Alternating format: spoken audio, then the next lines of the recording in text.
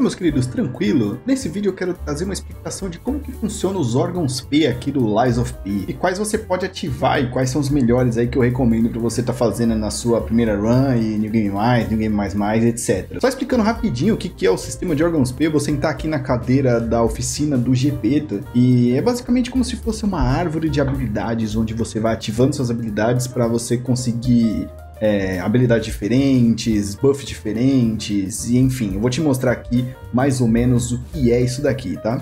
Essa aqui é a árvore de habilidades do Lies of P. Aqui você já tá vendo que tem algumas habilidades ativas, mas vou explicar bem certinho o que que é. é aqui você, aqui no canto em cima, deixa eu só tirar minha câmera de cima, ó, você tá vendo ali quartzo sete quartos. Esses quartos você vai conseguir derrotando alguns chefes, é, encontrando alguns baús, alguns inimigos únicos também vão dropar esses quartos, mas é, é, bom você ficar esperto porque esses quartos são itens limitados, ou seja, você não consegue dropar aleatoriamente. E eles têm um número fixo de vezes que você consegue conseguir durante as runs que você faz no seu jogo. Assim que você conseguir os seus quartos, você vai conseguir é, liberar uma sub-habilidade de uma habilidade. Eu vou fazer o seguinte seguinte, eu vou resetar minha árvore e já volto para mostrar para vocês, fazendo do zero, como que funciona. Vamos lá, para quem está começando, ainda não está familiarizado com os órgãos P, é basicamente o seguinte, você vai liberar a habilidade, tá? Eu, por exemplo, aqui, Logo na primeira fase, eu acho top essa skill. Daqui a pouco eu vou passar para vocês cada habilidade que eu acho excelente para você estar tá considerando na sua build, tá? Mas a principal, essa corrente de esquivas, você tem que ter no seu personagem, é obrigatória, é, uma, é excelente. Ativa outra esquiva no meio de outra esquiva. Cara, isso aqui é impressionante. Ah, então, basicamente, você vai fazer o seguinte, ó. Pra ativar, para você conseguir essa habilidade corrente de esquivas, você vai fazer o seguinte.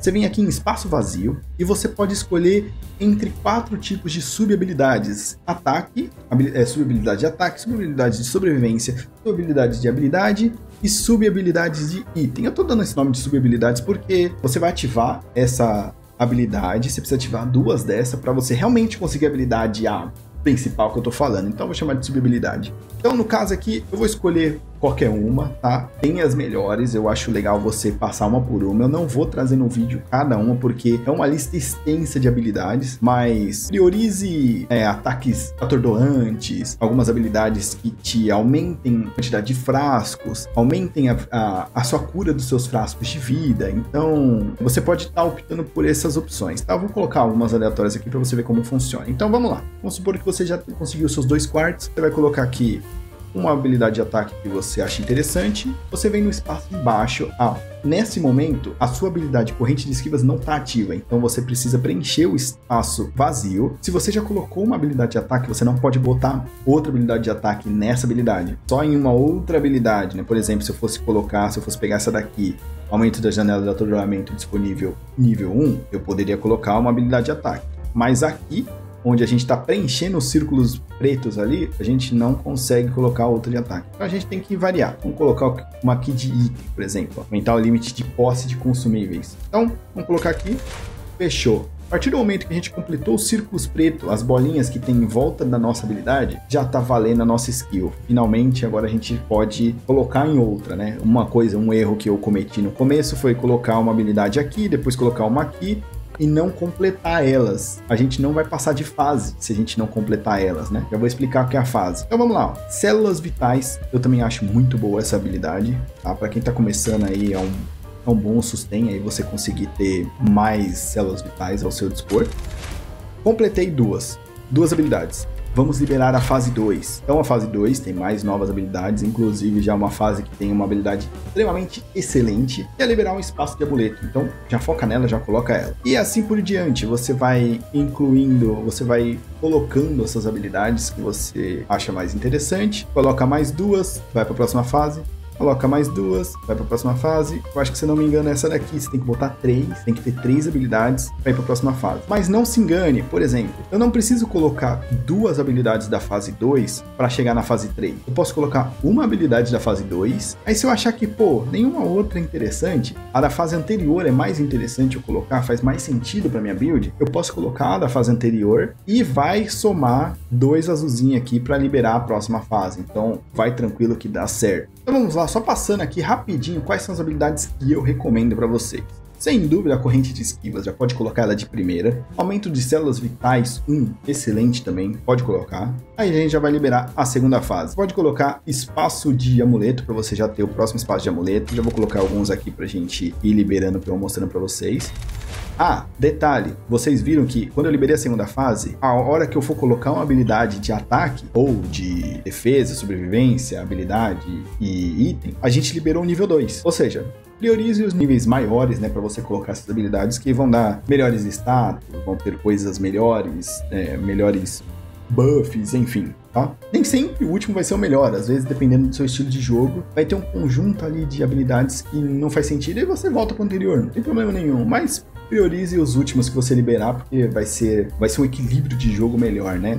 E o legal dessas, dessa árvore de habilidades, né, do órgão P, é que ele vai facilitando a progressão do seu game, justamente para equilibrar o seu jogo quando você for chegando mais para frente aí nos níveis mais altos, em novas fases, nos novos capítulos. Então, próxima habilidade aqui, eu recomendo vocês colocarem aumento de células vitais, realmente uma é uma boa aquisição, tá? Para quem tá tendo dificuldade, é, é, bem interessante esse carinha aqui. Colocamos dois, liberamos a terceira fase. Já na terceira fase, a gente vai ter o aprimoramento da recuperação de células. Cadê? É o esse cara aqui. Esse cara aqui vai melhorar a nossa recuperação, então super importante. E já na fase 3, a nossa quantidade para ativar a habilidade, quantidade de sub-habilidades aumentou, agora são 3.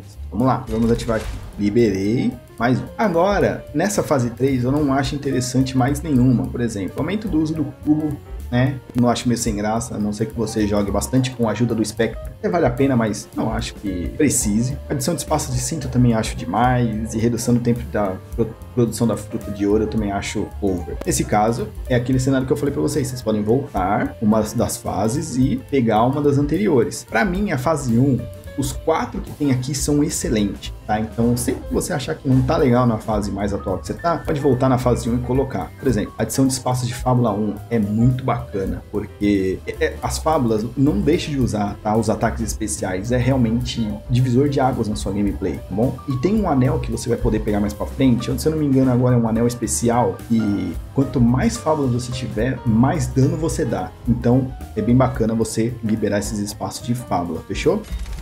Vamos liberar a fase 4. Na fase 4, a gente pode colocar adição de espaço de amuleto logo de cara, nem pensa, isso aqui é maravilhoso. Fechou. E a gente pode colocar, aqui eu tô vendo a minha colinha, o espaço de fábulas, né? Mais um aqui, ó. Vamos lá, só passando aqui pela fase 4. Aumento do uso do rebolo especial, acho meio chumbrega. Bloqueio perfeito causa rigidez. Esse aqui pode ser que você ache interessante se você está utilizando bastante o seu parry. Eu, como gosto de jogar um estilo de jogo mais esquiva, eu não, não uso essas habilidades. Então, cabe você avaliar se faz sentido para o seu estilo de gameplay ou não, tá? Eu não passei pelas outras fases, ó. Retenção de recuperação de bloqueio ao usar célula vital. Isso aqui, quando você defende com seu com a sua arma e você toma um dano defendendo, você ainda vai tomar esse dano, aí vai ficar que nem tá lá na imagem e vai ficar esse vermelho um pouco clarinho aqui que você tá vendo aqui embaixo. Quando você bate no inimigo, você pode recuperar uma porção desse dano que você tomou. Nesse caso, você vai recuperar mais dano. Você vai recuperar mais vida, desculpa. Então, é isso que essa habilidade vai fazer. Não acho tão útil, mas fica aí outra possibilidade. Pode ser que essa habilidade seja útil quando você já tiver pego todas as outras que você acha mais importante. Essa daqui vai vai te dar um sustain melhor durante as suas batalhas. Então, cogite pegar ela quando você já tiver pego todas as habilidades que pô, realmente são importantes, fechou? Retenção de recuperação de bloqueio. Retenção de recuperação de bloqueio ao usar as células vitais. Ah, esse aqui, o que eu acabei de explicar, na verdade, é esse segundo aqui, tá? Retenção de recuperação de bloqueio. Esse retenção de recuperação de bloqueio ao usar células vitais, provavelmente quando você defende, vai continuar com a barra vermelha, mas você cura, você pode ainda usar esse. É, ele não sobrepõe esse vermelho mais claro, você pode continuar batendo para continuar curando. Eu falo com incerteza porque eu realmente não utilizei essas, esses mecanismos no jogo, então fica aí ao critério de vocês no caso, tá? Esse outro aqui, aumento da janela de atordoamento da fase 1, eu, como eu falei, os quatro são bons, eu acho acho bem interessante você colocar aqui quando você voltar, fechou? Vamos lá na fase 5. Na fase 5, ó, você pode colocar a recuperação de, ó, a, a, a, o cara que eu, a skill que eu acabei de falar, tá?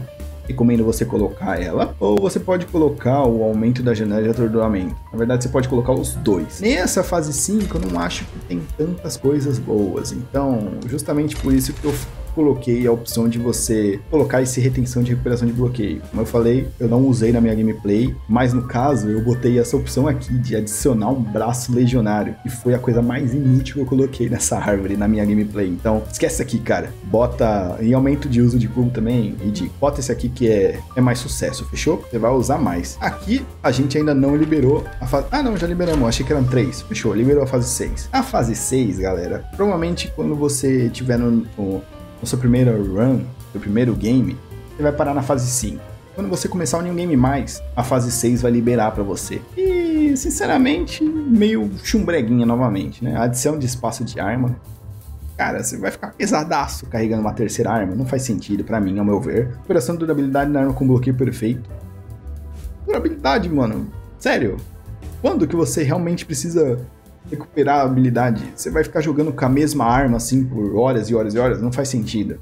Às vezes em poucos bosses eu acabei usando a, a, a recuperação de habilidade, o rebolo, né, para afiar a arma novamente, né? Então, não acho válido. O que mais? Adição de espaço assim, sem graça e aprimoramento de recuperação. Top. Vamos focar nesse aqui já na fase 6. Beleza? Liberando aqui a fase 6 a habilidade da fase 6, o restante eu não, não recomendo. Novamente a gente pode voltar e habilitar uma anterior. Nesse caso, no New Game Mais, a fase 6 é a única. Quando você for pro New Game Mais, mais você vai liberar a fase 7. Não joguei o New Game Mais, mais, mais, né? O New Game Mais, mais, mais, mais, mais, pra ver se vai liberando a fase 8, 9, 10. Então eu parei aqui na fase 7, tá? Na fase 7 aqui eu vou recomendar para vocês o que faz total sentido recomendar, que é a liberação do quinto amuleto, quinto espaço de amuleto. Isso aqui é maravilhoso. Então, cara, pode, assim que você liberar, pode colocar sem medo de olhos fechados essa habilidade, porque Cara, quanto mais amuletos, melhor. Você nem, nem fica pesado. Quer dizer, você fica pesado por usar amuleto, mas na moral, tem uns amuletos assim que são impressionantes. Se você ainda não viu o vídeo de melhores amuletos, eu recomendo você assistir. Vou deixar aqui no card acima. A gente, vou deixar também uma playlist com várias dicas que a gente tem do canal de status, do, das habilidades, né? O de ácido, fogo, elétrico, o que acontece com o seu personagem, o que acontece com o inimigo se você usar esses status. Então, Fica de olho nas dicas aí, que tem umas dicas maneiras de of P. Você que tá começando agora, é bem bacana você dominar essas, esses efeitos, tá? Então eu evito também o máximo de spoilers para é, preservar o seu, a sua experiência com o game. Eu não gostaria de receber esse tipo de spoilers, então vai por mim que tá, tá bem massa esses vídeos. Dê uma olhada aqui na minha lista e é, é isso. O restante você pode ficar à vontade aí, escolher quais habilidades você quer, se você quer aumentar o nível, quantas vezes você usa o cubo, enfim. Mas eu acho que essas habilidades que eu passei para vocês agora, uma por uma, são as mais importantes do Lies of P, ao meu ver. Fechou? Para você resetar as suas skills do órgão P, você precisa ter as sementes douradas. Então você precisa vir nessa árvore aqui, você libera aí mais pouco da metade do jogo para frente, né? E você vai conseguir as, as moedas de ouro, né? Aqui eu peguei uma, vai precisar de, de bastante. Se eu não me engano, a primeira vez que você faz esse reset, você consegue é, resetar por 6, depois por 8 e vai aumentando de 2 em 2 cada vez que você reseta. Então, toma cuidado para você não fazer um reset de bobeira, simplesmente porque, ah, quero testar uma build. Infelizmente, o jogo ele é meio complicado em relação a testar builds, é, em relação a, a... O ergo você pode farmar, então você pode fazer os resets de nível tranquilo, mas em questão do órgão P é meio complicado porque você vai precisar dessas sementinhas douradas, né? Então, vai com calma. Aqui no caso, na árvore, eu consigo redefinir o meu órgão P por aqui, ó. Ainda falta uma semente para mim, mas não é o caso se você estiver começando agora. Provavelmente é porque eu já joguei algumas vezes, já zerei e apareceu essa opção para mim, tá? Mas você provavelmente vai conseguir só resetar o órgão P na sua primeira gameplay lá na Estátua da Santa, que é esse lugar aqui, ó, vou mostrar para vocês. É lá na fábrica, não é na fábrica, é onde é quando você luta com o Victor, o campeão. Depois que você luta com ele, você consegue a chave para liberar a sala que você é, libera o acesso para a estátua. Aí, ó, Estátua da Santa Piedade, lá no capítulo 7, ali no na Galeria Lorenzini. Fechou? Então você derrota aqui o Victor nesse local aqui. E você consegue a chave para acessar esse local para você resetar tudo. Você consegue resetar os órgãos P e também as, o seu nível, né, no caso. Peguei a minha última fruta da moeda de ouro, agora a gente vai poder resetar. Só vim aqui em redefinir órgãos P. Aqui eu tô na árvore, mas é a mesma opção quando você estiver na santa, tá? Então fica tranquila. E aí eu vou obter 35 quartos, que é o referente a quanto de habilidades eu já gastei na minha árvore de skills, tá? Então, essa é a quantidade, provavelmente quando você for resetar vai ser outra quantidade. Se você ainda não tá de olho aí no canal, a gente tá fazendo alguns vídeos de desafio de Lies of P. Eu convido vocês a estar tá dando uma olhada lá no nosso canal secundário, onde tá saindo todas as gameplays. Vai sair também um resumo aqui desses desafios aqui no canal. Fiz o desafio de New Game Mais, onde eu zerei sem defender, sem dar parry sem chamar a ajuda do Spectre, sem farmar muitos ergos, ergos infinitos para simplesmente você ficar ultra forte. E finalizamos esse desafio, foi realmente insano. Fiz um rank dos bosses mais difíceis, bosses que eu fiquei 3, 4 horas, 5 horas para passar. Realmente difícil. E eu comecei um novo desafio, que é o desafio do nível 1, onde eu começo o jogo e eu vou terminar ele sem upar nada, sem upar nível, sem upar braço, sem upar arma, sem colocar os órgãos P que eu te mostrei agora, cara, essa habilidade aqui, zerar sem essa habilidade aqui é insano de difícil. É impressionante o como quando você joga com ela, você nem percebe e ela faz total diferença para seu gameplay. Agora quando você joga sem, cara, você sente falta. Então, tá bem hard, eu tô fazendo live todas as segundas, quarta e quinta lá na roxinha 7 e meia. Link tá na descrição. Tô fazendo vários tipos de jogos, inclusive esse desafio do Lies of P. Fica por dentro aí da agenda, então segue lá na, no canal. E aqui no canal a gente tá trazendo várias tipos de dicas, então fica de olho aí, já se inscreve, dá aquela força. Estamos um canal novo, eu agradeço muito se você puder curtir, comentar, trazer aquele engajamento maneiro. Vou estar tá respondendo todos vocês, vou ler todos os comentários e tamo junto, meus queridos. É, me avisa aí se teve alguma skill aí, alguma habilidade que eu deixei de falar que, pô, Cara, isso aqui é muito importante pro gameplay, eu adoro. Alguma habilidade aí de defesa e tal, alguma habilidade aí de recuperação de bloqueio ou combo realmente faz diferença para vocês. Me avisa aí nos comentários se você acha que é importante trazer para essa lista de órgãos P. Fechou? Valeu, meus queridos, e um abraço!